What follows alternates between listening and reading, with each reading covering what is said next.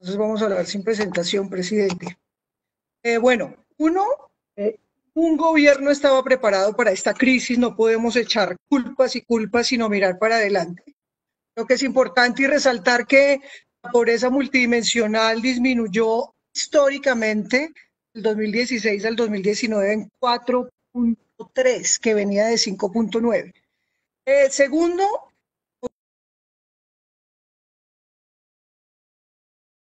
participado la Secretaría de Integración Social, como que haya participado el gobierno nacional dándonos algunas explicaciones y algunas claridades, y sería bueno entonces eh, que pudiéramos tener ese conversatorio sabiendo que el objetivo de que tengamos control político en Bogotá.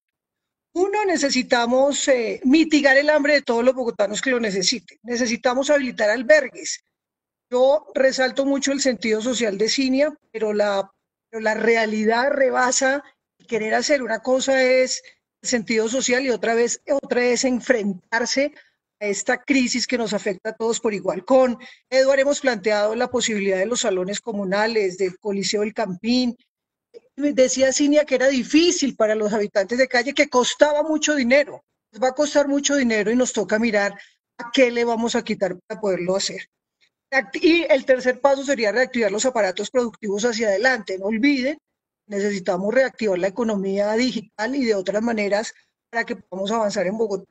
Tenemos para este año una inversión de 1.100, 1.100 millones de pesos, 1.100 billones de pesos, un billón 100 mil pesos eh, en la Secretaría de Integración. Y me preocupa, eh, por eso quería oír a la personería de la Contraloría, de dónde es que estamos contratando y cómo estamos contratando. No es oponerse a nada, no es dejar trabajar, pero sí necesitamos claridades de qué se está haciendo con plata.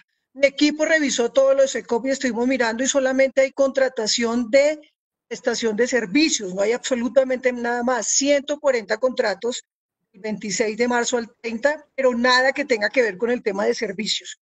Nosotros sabemos, mí no me preocupa la gente que está en los servicios comedores comunitarios y los contratos se vencen ahorita en abril, toca mirar la coyuntura que se va a hacer, están no dejando entrar a los ancianos, sino que le están llevando eh, el mercado a su casa, ¿qué está pasando con estos cupos o cómo podemos suplir esos cupos porque las localidades están pidiendo que esos cupos de comedores comunitarios se puedan llevar adelante. Recuerden que esta crisis golpea doblemente a las mujeres por la feminización de la pobreza y porque según el último censo del DANE, eh, la mayoría jefes de hogar son mujeres en Bogotá y en Colombia. Entonces, tenemos ahí una doble afectación. Quiero pasar rápidamente a las propuestas y en este tema mucho eh, a mujeres víctimas de maltrato. Si bien está el sindicato, y nos lo planteó así la doctora Cinia, el sindicato pide que los, eh, las comisarías de familias estén en su casa, necesitamos que esos sindicatos también sean conscientes y podamos tener eh, tres móviles de las comisarías de familia y una siquiera 24 horas porque no hay absolutamente nada, nada de eso en este momento. 1.500 solicitudes la línea púrpura, 214 casos de maltrato familiar, 1.197 mujeres fueron atendidas en orientación jurídica y psicosocial durante estos días. Eso debe ser para que el sindicato, eh, comisaría de familia en, integración social, se ponga pilas y pueda trabajar en ese sentido. Lo otro es, aquí, y lo decía al principio, dar alimentación a todo el que lo necesite. Y no, no, no, por eso digo, no me preocupan los de los servicios sociales, sino que me preocupan los que están por fuera, como ha dicho Gloria, los zapateros, las modistas, los cocineros, las empleadas domésticas y necesitamos que urgente tengamos una aplicación donde como se entra para personería, para eh, la policía,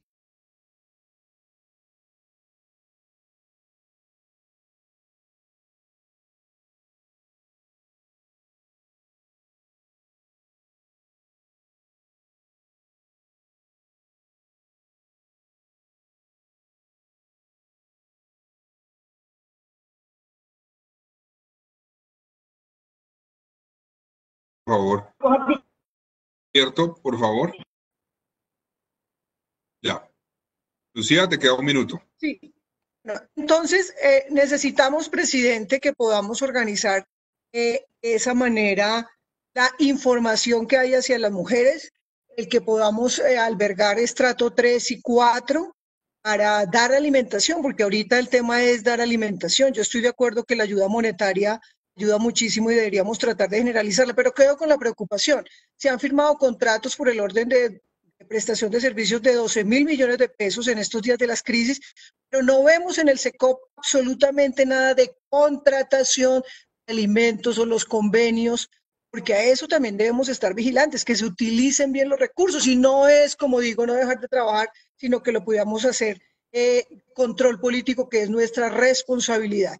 Yo creo que aquí hay que sumar esfuerzos, gobierno nacional, distrital, van a ser insuficientes, mirar cómo reactivamos las eh, organizaciones sociales y comunitarias que tienen microempresas para que el tema que puedan hacer desde la casa lo estén haciendo. Y reiterar el tema de aglomeraciones que tenemos. Habitantes de calle, está un hombre que venía del equipo del gobierno de Petro al frente de habitantes de calle, estuvo en el gobierno de Enrique Peñalosa, entendemos ahora por qué han echado de para atrás en el tema de atención a habitantes de calle y cueste lo que cueste, necesitamos hacer albergues en la ciudad. Muchas gracias.